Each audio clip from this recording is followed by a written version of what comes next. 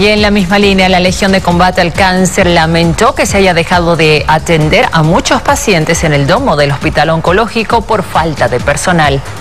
Necesitamos urgente que se contrate al personal necesario para que el eh, funcione el, domo. El domo, como ustedes saben, ha sido construido gracias al aporte y solidaridad del pueblo cruceño. Sin embargo, a pesar de estar dotado del equipo necesario, respiradores, aspiradores, la terapia intensiva para adultos, para niños, la sala de COVID para pacientes con, eh, contagiados y pacientes sospechosos, y haberse dotado de todas las condiciones para que el domo funcione, sin embargo, hasta el momento el gobierno no contrata al personal necesario que se requiere. Se les ha hecho el requerimiento por escrito.